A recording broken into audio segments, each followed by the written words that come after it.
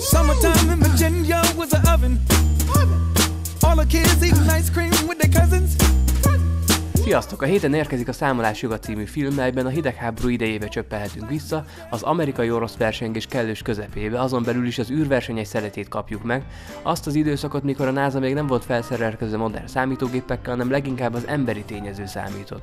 És bizony ebbe a közegbe próbál érvényesülni három színes bőrű nő, és mint tudjuk, ebben a korszakban a fai megkülönböztetés nagyon-nagyon messze állt a haladó szellemiség medrétől. A 60-as évek elején járunk, az amerikaiak azon dolgoznak, hogy az oroszok előtt juttassanak embert az űrbe, minden erejükkel ezen az ügyön ügyködnek, illetve hiszik azt, hogy minden erejükkel ezen vannak, ugyanis akadnak emberek, akik zsenibbek a zseniknél, mégsem használják ki tehetségüket, előmenetelük nagyon nehéz vagy egyenesen lehetetlen, és mindezt a mérhetetlen előítéletek miatt. A nőket, pláne hogyha színes bőrűek, nem igazán veszik figyelembe a názánál, mint ahogy ebben a korban szinte sehol. Főhőseiknek nehéz állt a soruk, főként Catherine-nek, aki a NASA vezetője mellé került beosztásba, ahol a sok fehér férfi munkatárs még nehezebbé teszi az életét. Be kell bizonyítani, hogy a tehetség, a szorgalom és az intelligencia nem nemi és nem fai kérdés. Ha az űrbe szeretnének jutni, vagy hogyha bármilyen hatalmas feladatot szeretnének megoldani az emberek, akkor egységbe kell gondolkozniuk.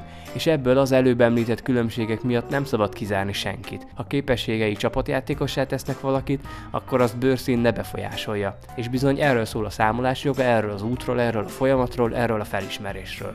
Ugye igaz történet alapján így kezdődik a film, hogy valóban így történt-e minden, azt tudja fene, vagy mennyire vannak felnagyítva a dolgok, hát ugye ez ugye mindig kérdés az ilyen igaz történetes filmekbe, Alapvetően maga a film az nagyon klasszikus panelekből építkezik, ami jellemző erre a zsánerre. Erősen támaszkodik az érzelmekre és a szentimentalizmusra, viszont alapvetően jól teszi ezt és nem lépi át a gics határt. A három főszereplő egységesen és megfelelően kibontott karakterrel bír, mindjárt teret kapnak a forgatókönyvben, karakterük szimpatikus végig, már-már túl tökéletesek is, viszont éppen ezért tudunk nekik szurkolni, izgulni értük, velük vagyunk végig, és bár attól függetlenül, hogy nagyon fontos témát boncolgat a film, ugye az előbb előbb említett fai megkülönböztetés, azért halálosan mélyre ebben nem megy.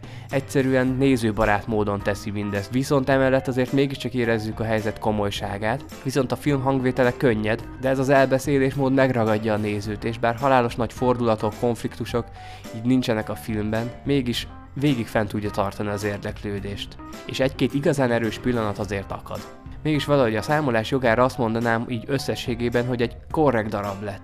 Minden a helyén van, alapvetően elmondja, amit el kell, megtudjuk, amit meg kell a NASA ezen korszakáról, beszél a társadalmi és politikai helyzetekről, gondokról, diszkrimináció, hidegháború, parafaktora, mind-mind megjelenik és megvan, Humora is van a filmnek bőven, a kor hangulata is jól elkapott, jó zenékkel tarkítva, a színészek is jól működnek, három főszereplő tulajdonképpen elvisz minket, mint mondtam, Kevin Costnert jól látni a vásznon, ő hozza a kötelezőt, az agymenőkből ismert Sheldon is kap egy fontosabb szerepet, Kirsten Dunst is, Összességében tehát tényleg azt tudom mondani a filmről, hogy egy nagyon könnyed, igazából szórakoztató darab, szerethető karakterekkel, egy nagyon korrekt a fai megkülönböztetések ellen hangot adó alkotás, klasszikusan nem lesz e témának, viszont egy nagyon szép képviselője. Sok pozitívuma van a filmnek, e fölött ugye nem lehet szemet hújni, a társadalmi és politikai mondandója nagyon egyértelmű, állást foglal és a szépen ki is fejti. Ráadásul ezen kérdések nem évültek el a 60-as évekbe teljesen, abszolút ma is aktualitása van. Picit olyan a film hangvétele, mint pár év a Help volt,